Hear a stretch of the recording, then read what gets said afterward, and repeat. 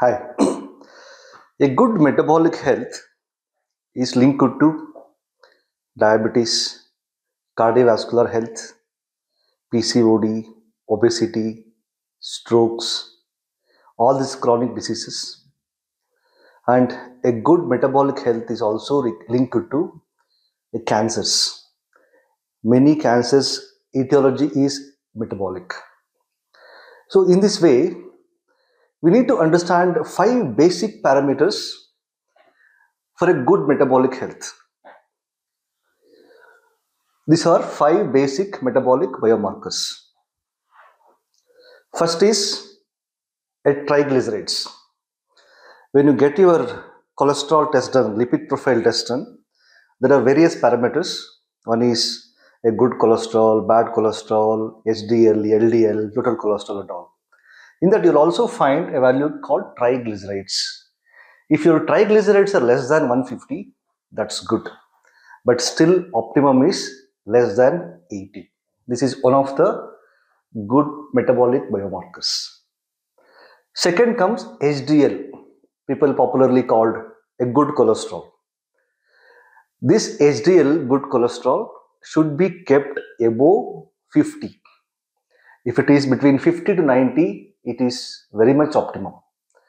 Then we see this triglyceride and HDL ratio, which should be kept less than 3. So HDL, this also a part of a lipid profile, cholesterol test. This is also a second important biomarker of metabolism.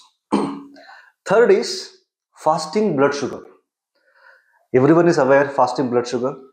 Many times you have seen your fasting blood sugar is high, but your after blood sugar is normal, but your HbA1c is also normal.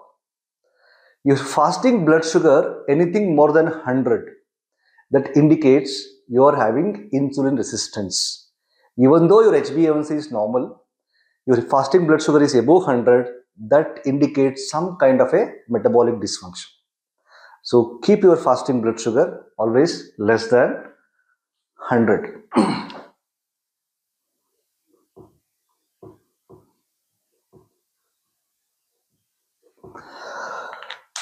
Fourth comes blood pressure, BP. So BP is multifactorial and there is various measures to check the BP.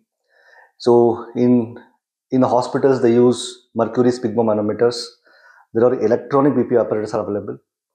They're very very good uh, brands like Omron and all. So make it a habit to check a BP at least once a week if you are at a high risk at home only. Use any latest version of electronic BP apparatus and check at home. People say that electronic is not accurate, we prefer manual.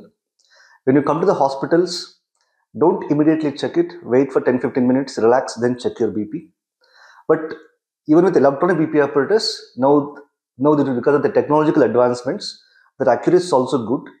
5 10% variation in the accuracy doesn't make much difference in the treatment.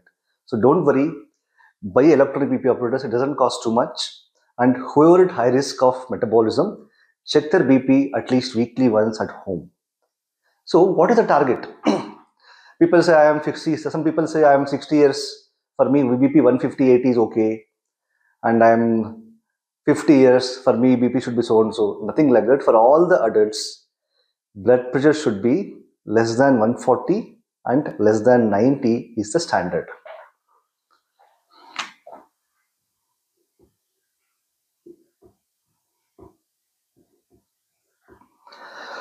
Still better, optimum is keep your BP less than 130, less than 80. So if your blood pressure between this range, that indicates a good metabolism and a good energy also. Fifth comes a waist circumference. Check your waist circumference at the level of umbilicus. So there are various references for Indians. Keep it simple. For a man, it should be less than 90 centimeters. For a woman, it should be less than 80 centimeters. If these parameters are within normal limit, more or less, you can say you are having a good metabolic health. So there are various other parameters like a HOMA IR and few more tests. But for basic things, Remember this triglyceride less than 150, HDL more than 50, fasting sugar, blood sugar less than 100.